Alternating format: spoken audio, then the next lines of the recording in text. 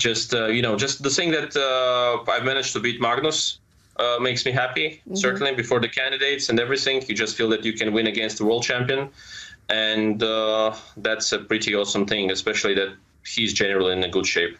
So uh, also preparing for the match, and uh, yeah, I think it will be a, also a good thing for him to lose some matches here because I mean for the world championship match he should be in like how to say um, he should be in shape and he should not feel invincible. Should fight for the for the crown again and try to defend it. And uh, of course, looking a little bit ahead as well, obviously you are already qualified for the next candidates tournament being given a spot there. Um, what will be your plans now in the near future?